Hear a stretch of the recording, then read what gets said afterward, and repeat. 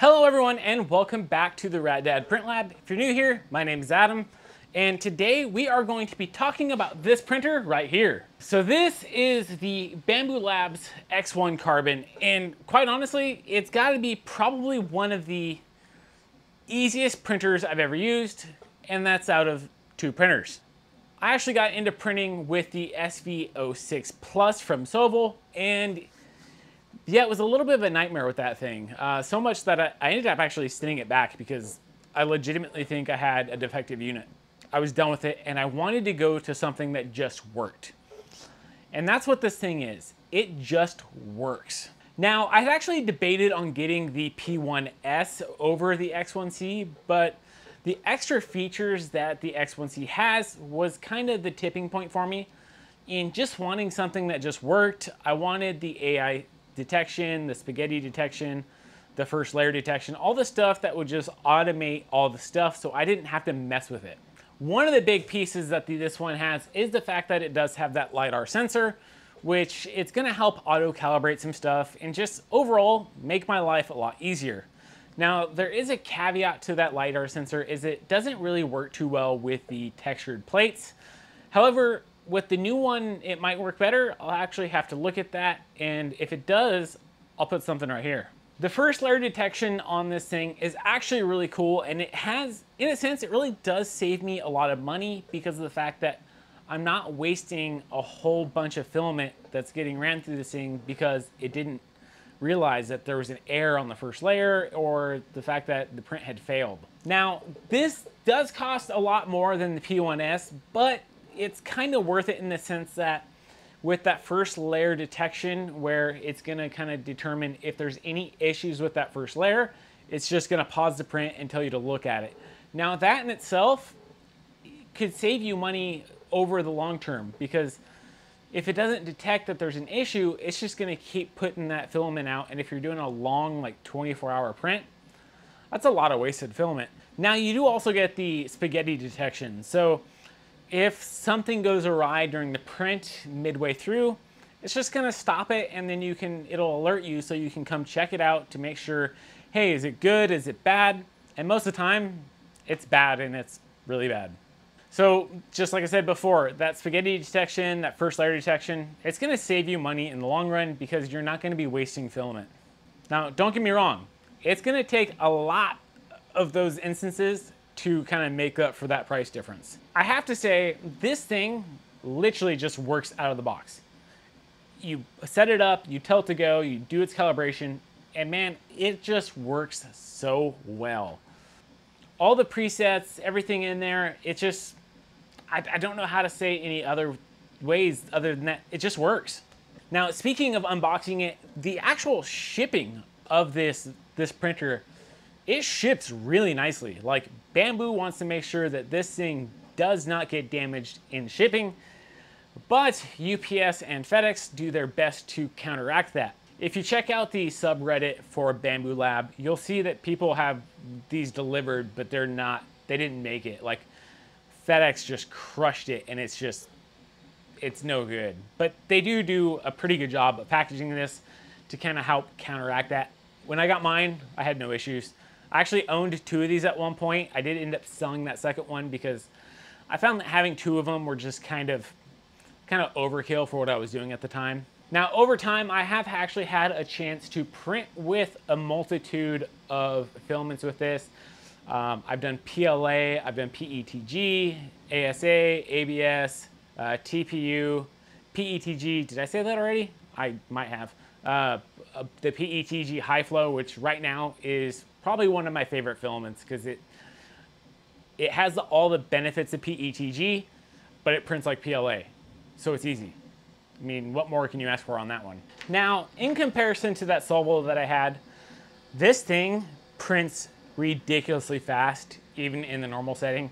You can bump it up to sport and ludicrous mode. However, I'm not that impatient. I'm okay with just the standard normal speed because when you do go into the sport and the ludicrous settings, you are kind of you are sacrificing some quality and some some print adhesion. I think when you use that. Um, if you have a better answer for that, let me know down in the comments below.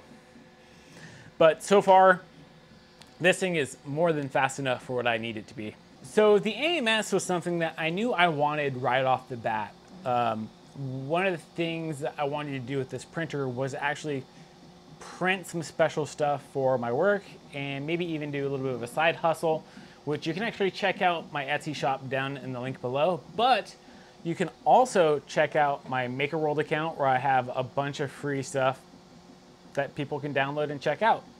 If you go there, let me know what you think.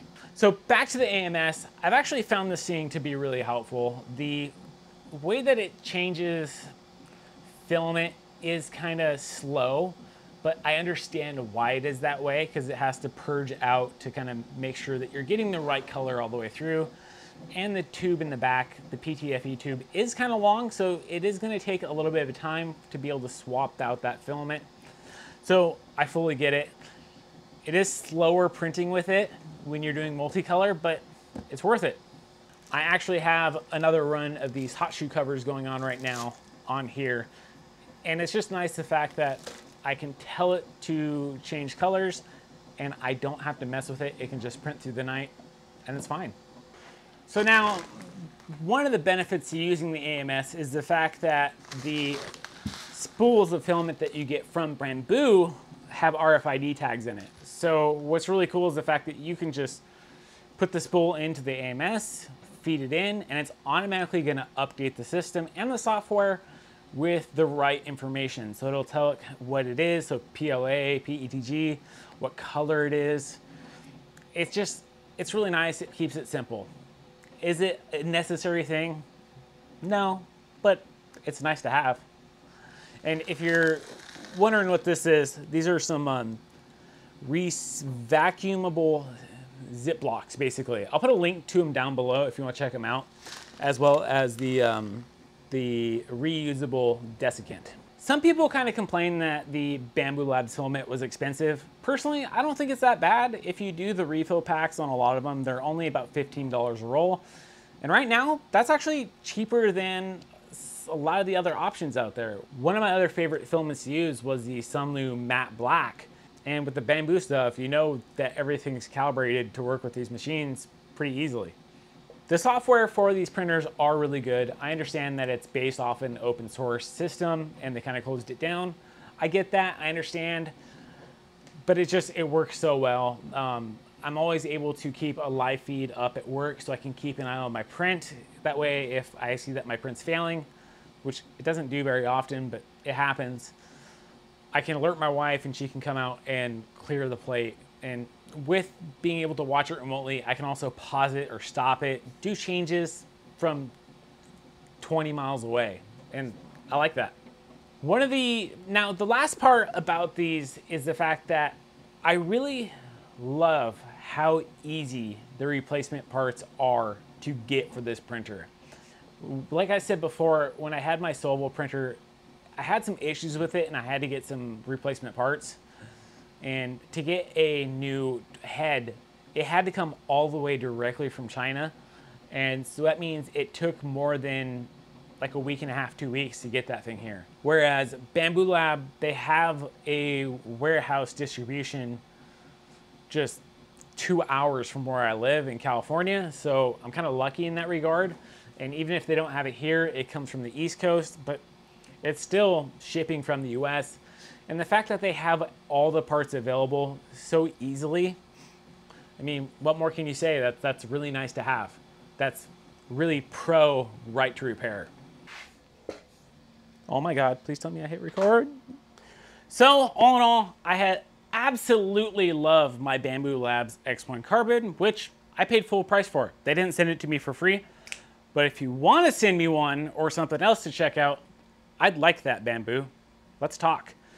Now, in all seriousness, I do actually have a Bambu Labs A1 Mini coming in for me to check out. I want to keep that one actually at my work so I can always rapid prototype while I'm there. That's going to be really cool. I can't wait to get that. Get subscribed because I'll probably do like an unboxing with it and maybe a quick little impressions video for it. Let me know what questions you have for it down in the comments below. And if you enjoyed this video, make sure you hit that like button and subscribe to the channel if you want to see more content like this. But before you go, if you notice in my B-roll of my Bambu Labs X1 Carbon, you notice that there's extra lighting inside. You can check out this video right here on how I did that.